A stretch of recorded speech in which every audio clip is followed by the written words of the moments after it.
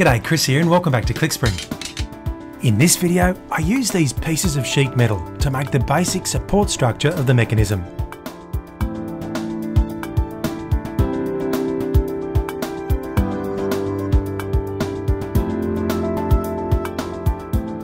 So what exactly is the structure of the mechanism? Well, if you strip everything away, it comes down to this. A single main plate with a single main bearing located at its centre. The front planetary display is speculated to have been positioned just above the main plate, and the rear display is known to have been located on the other side. It's a three-tiered structure providing support and alignment for the entire mechanism. And you can see that it has features spread across all three levels that are all somewhat related. Now some of these features will be depth from the main central bearing, some from features on the rear dial, and some will be located relative to specific components once their position within the mechanism has been determined. Many of the features need to be formed with two or three of the plates stacked together for reference, like for example the main bearing position.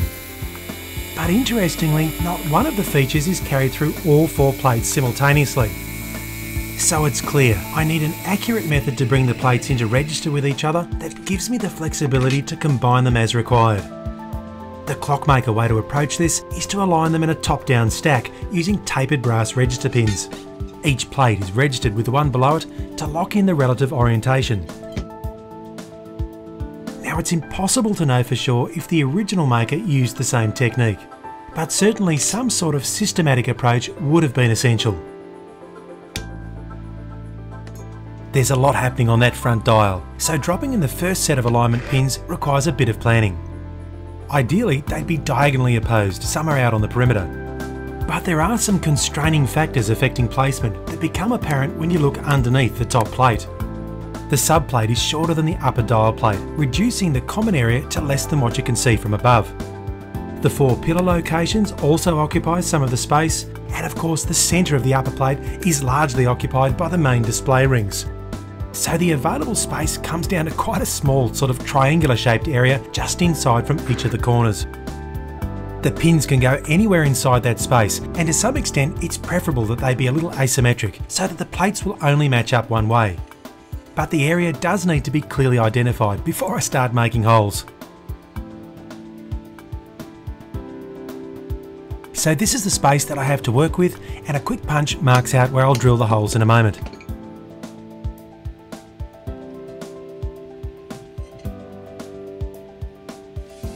The next plate down in the stack is the front dial subplate, and it needs to be accurately located adjacent to the top plate before I can drill the holes. I use the known dimension from the edges as well as the common straight edge to position it.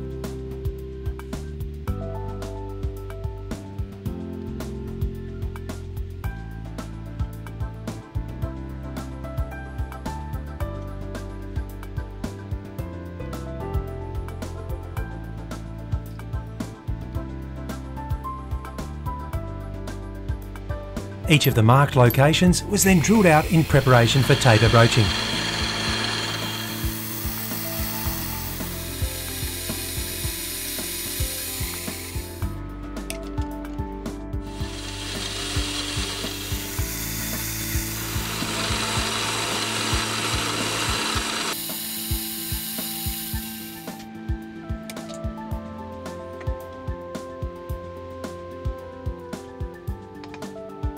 I use this five-sided clockmaker's broach to taper broach each of the holes, using one of the pins to gauge the progress of the taper.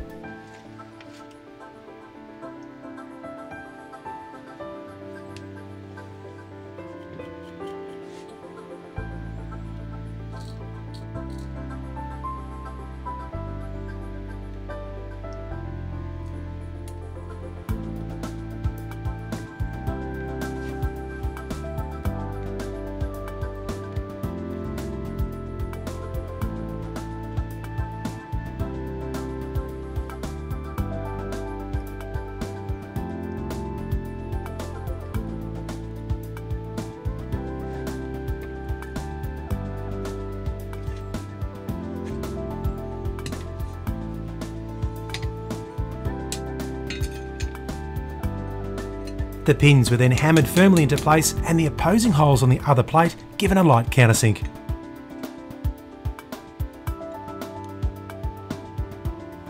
Now for the plates to all sit flush when stacked, the pins must sit beneath the surface of each matching plate. So I used a file to reduce the pin length and then rounded off the tops using a shop made chamfer tool.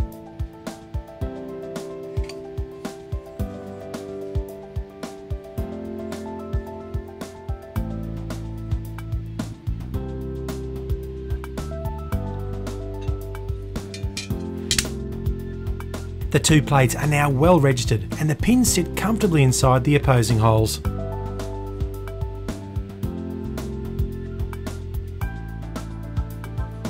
The excess pin length on the other side was then trimmed off, filed back and blended in with the surrounding metal.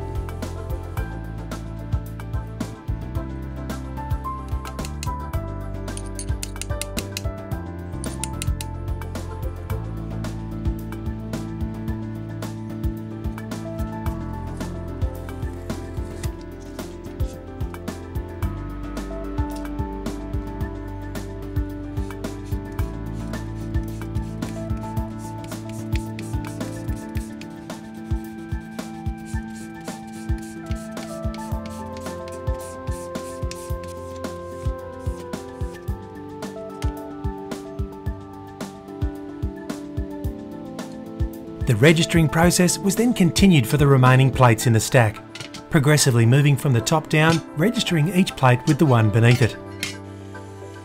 Again, taking care to align the plates carefully before drilling and placing the pins in regions of the mechanism known to be available space.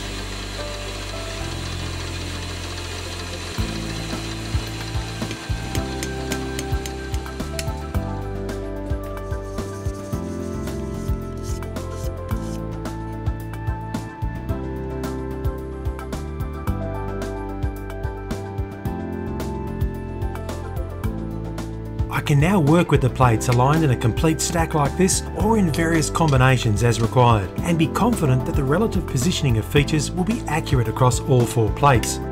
In fact, the next operation is a great example of what I mean. I used a wiggler to pick up the centre bearing position and then drilled out the main bearing hole with just the top three plates registered together. The upper two plates were then removed to permit a light countersinking of the main bearing position and also the marking out of a key arbor position. The subplate was then returned to the stack to pick up the correct position for the pillars and finally the front dial plate was also returned to the stack to drill out the pilot holes for the pillars. Now without using register pins this would have been quite a challenging task to manage but with them it's a fast, convenient and accurate process, and one I'll use several times throughout the course of the build.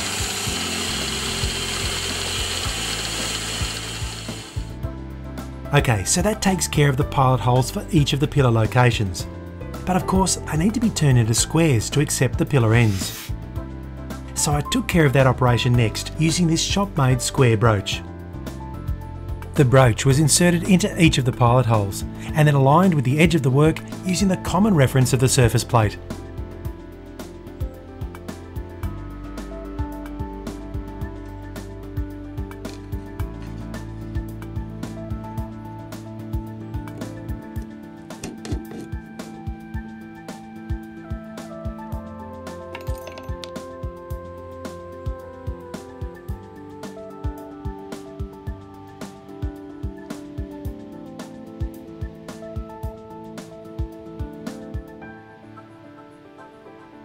I use the tip of a fine cut file to undercut each of the pillar locations to ensure a clean seating for the pillars.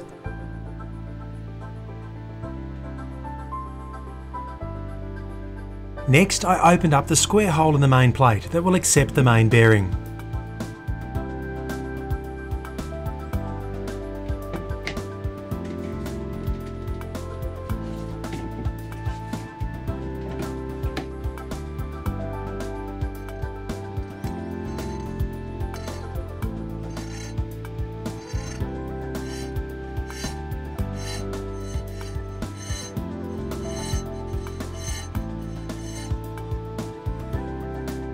And while it's certainly not essential, the sheet stock could do with a quick tidy up to make it a bit more presentable for the rest of the video series. So I gave it a light grained finish with some 800 grit abrasive paper.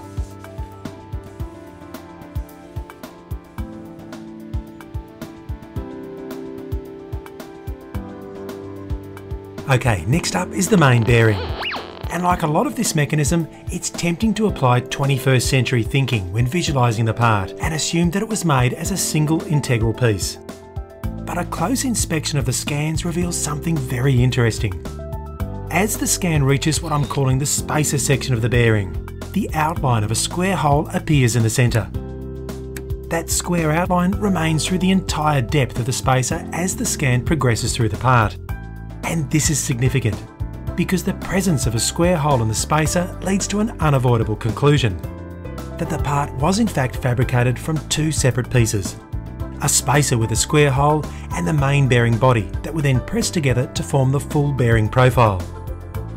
Now this fabricated approach may look like a bit of an odd way to construct the part, but it does bring a particular advantage because it permits the basic clearances in the device to be achieved simply by using existing sheet stock of a known dimension. It's what I've done for this part, and there are a few other parts in the mechanism where exactly the same time-saving trick will apply. I also suspect that this approach delivered an even greater dividend with the more complex sub-assemblies. All throughout the device, virtually every subassembly incorporates this idea of spacers and wheels either riveted together as a sort of layered sandwich or threaded onto a shouldered arbor or both. Certainly, the wheels and spacers could have been formed from stock selected to achieve a specific clearance, much like this bearing. But it's also easy to imagine the maker taking it a step further by starting with a slightly oversized stock and then reducing the thickness of the wheels and spacers by rubbing them on an abrasive surface. Using this simple method, whole assemblies could then be easily brought to very close tolerances by simply abrading the components and then visually checking the fit until the perfect clearance was achieved. With not much more than a flat abrasive surface and good eyesight, the maker could have achieved exceptional dimension control without any need for absolute measurement. I think it's an intriguing possibility and it's something I'll investigate further throughout the rest of the build. Okay, so back to the job at hand, the basic profile of the main bearing body was formed on the lathe, and I used the mill to form the squares.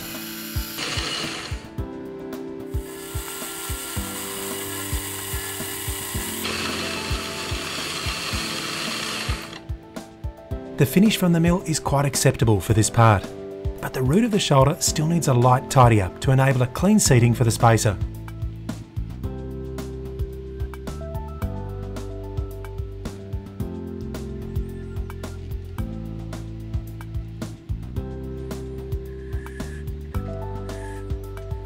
The spacer hole was then opened up until it was a firm fit on the end of the main bearing body.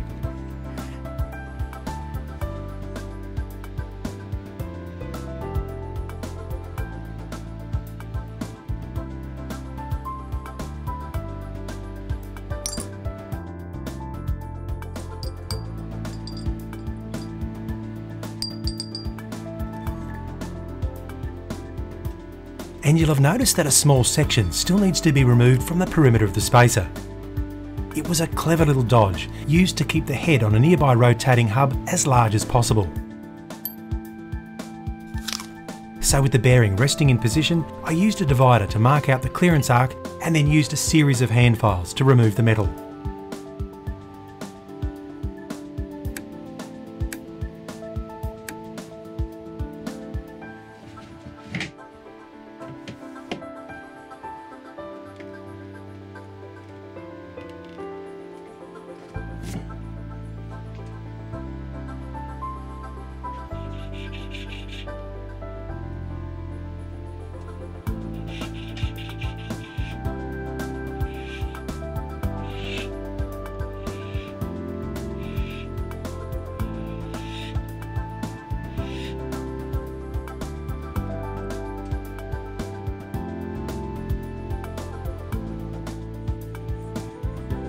A quick tidy up of the corners with a slipstone and the two parts of the bearing were tapped together.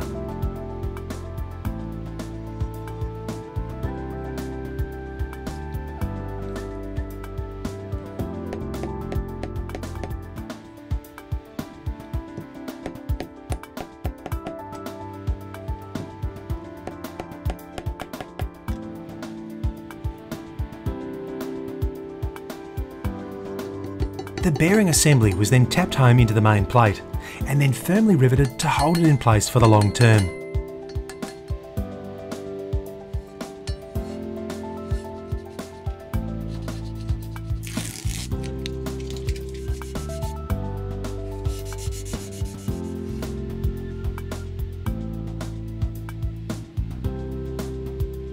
Okay, so now that I've got a few bits and pieces to work with, let's have a look at how it all goes together.